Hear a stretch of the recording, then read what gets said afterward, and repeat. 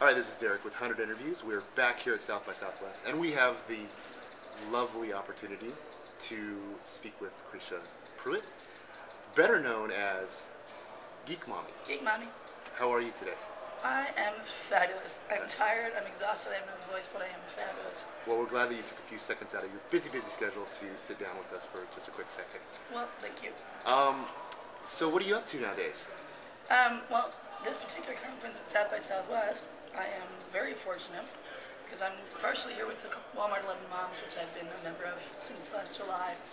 But um, the sponsors that I'm here with are Colgate Palmolive, who, as a huge supplier and distributor, are entering social media for the first time, and they are ready to embrace it and to use it as as somebody that produces items, which you know it's kind of a new edge. They're non-tech, and they're loving it. And I get to take them around and show them this whole thing. It's kind of like this new experience. And you gave us the opportunity to speak with Walmart uh, earlier, I and I was really interested in, in how they're utilizing uh, this whole network and how they're really trying to embrace how they're approaching their customer. Um, have you had any influence on that as to how they're approaching it? To a point, we get to do a lot of feedback on it. Um, for me, since I'm more of a social media tech person than I am a money saving person, and God knows I've learned so much from the moms that are like the money saving, personal finance, frugal coupon bloggers. I, I'm doing much better financially, thank you. But for me, I do social media and I do tech, and I am a mom, and I've been lucky enough to sort of go along with Walmart on the ride while they're getting into social media, and watch as it evolves and watch as they're doing it right and they're doing it transparently and they're leading the way. Right. Have you been surprised on how supportive they have been of social media? Because I, I You would know- think of that a company that size would, would be a little scared, maybe a little bit. I was stunned. You know, we, we went out to uh, Bentonville in October, and originally it was just sort of a come in, see the company, see our corporate culture, see what we do and why we really believe in what we do. And the day before we got there, Josh Bernoff, who was a, a senior analyst at, at Forrester, had been there giving them groundswell training. And so we came in, and as we were there, progressively more and more executives started showing up to meet with the mom bloggers. And we ended up with like, I was the VP of marketing, Tony was there. I, I wish I could tell you Tony's last name, I'm kind of sketchy that.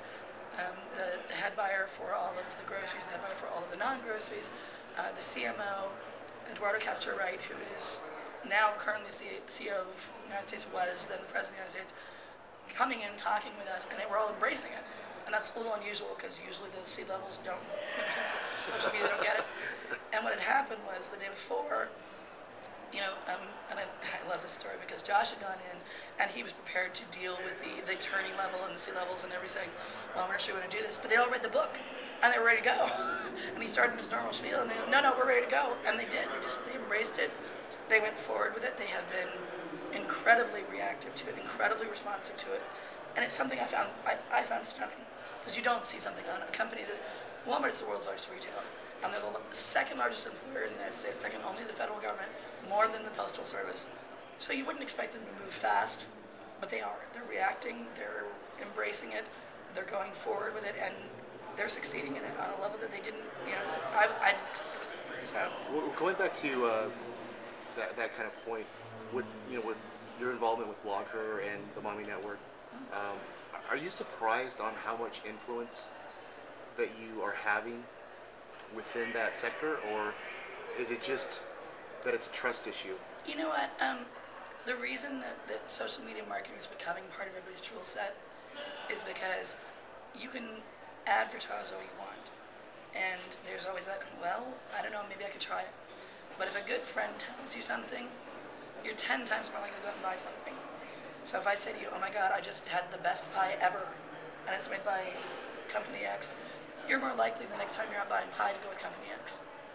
Versus if you see a commercial or an ad or something that says, oh, Company X, you say, yeah, they make pie, I get it. Right. So the mom network and the mom bloggers and BlogHer, and not even just the moms, but like women in general, they talk about that. And they used to talk about that in the neighborhood. They used to talk about that at the back fence with all the other moms and all the women that were home and all the women that were baking, all the mom be moms, and it was sort of a gossip thing. Now we are not geographically tied to that. We talk to our communities. Our communities are everywhere. They're in the United States. They're in Canada. They're in Europe. They're on every time zone. They walk. They work. They don't work. They stay home. They are entrepreneurs. But we still do the same thing we used to do, which is we talk. And so that's companies have to respond. They don't have a choice. Well, I was at Blog World uh, last year, and they were talking about kind of pay per post in Uh. regards to the Mommy Network, and, and what are your feelings on that? Oh, that's a good question because you know, I actually have worked with IZEA, and Pay Per Post was kind of the idea of Ted Murphy, who is the CEO of IZEA, and somehow that you know that that blew up into a drama that I'm not going to go back over. Everybody knows it, but one of the things that, that I find interesting is I hear that well, this is an amateur, we don't get paid. And I say seriously, there are certain things that if you went to your web guy and said, I want you to set up a contest, you need to set up the site, write the content, have people enter the contest, control all the entries, make sure they're all valid, and later on, make sure that you do, do announce it and deliver the contest.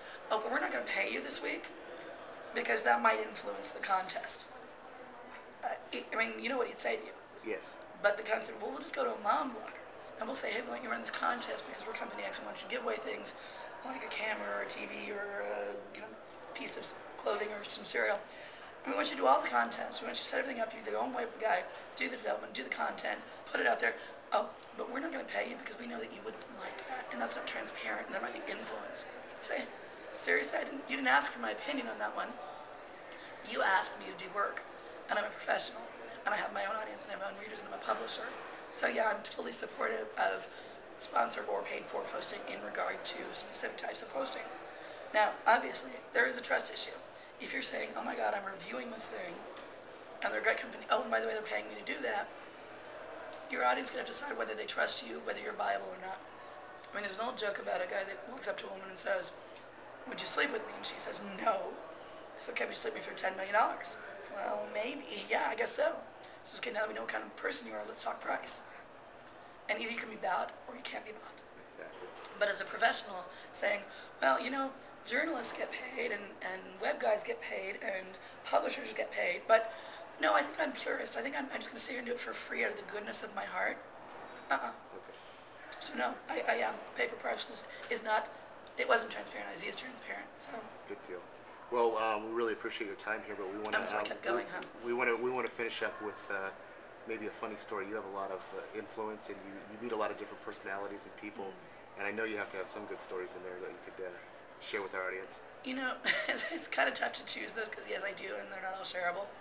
But um, the thing that, that, I, that always cracks me up the most about these conferences is I go there and I'm sort of in my little Clark Kent identity, and my my name also says Lucretia Pruitt, and has a little picture, and I'll talk to people, and I can talk to them for long periods of time, in case you haven't noticed. and um, it started with BlogHer last year when I was there out during July, and there were a lot of people that I connect with on Twitter, but for whatever reason, unless you're standing like 30 feet away and doing this and doing the right pose, nobody knows who you are. So um, I'd be out there, I'd be sitting talking to women, and you know we talked for a while, and they weren't really kind of they worked, they were on Twitter, but they didn't really get that it was part of their connection. So say, so sorry, on Twitter? It's yeah. Well, who are you? Geek mommy. And they would shriek and like dive at me and hug me and go on and laugh at things. And it was kind of like this little moment of, um, hi, I was the same person I was 10 minutes ago when we were just talking about normal stuff. But now you're famous. Well, it's, yeah, internet and Twitter famous, which is kind of like um, about as good as you know that and 250 will buy you a cup of coffee. But it, you know, if I bought my own press, I would totally be like, oh my god, it's so amazing. But it's just kind of like, hey, and and you would be who on Twitter because I'm probably following you right back. So That's great. Well, Lucretia, we, we enjoyed uh, this little interview. I'm thank you glad you. me Uh, a chance. I really appreciate it. yeah, we were glad that you put your uh, name on our comment so we could actually get you in here. Uh, you know, I saw what you guys were doing. I was so excited. I'm like, oh, that sounds like so much fun. To look, and they're gonna do something. So yeah, thank you very much. Glad you're the Enjoy your uh, the rest of your South by. All right. Thank you. Thanks.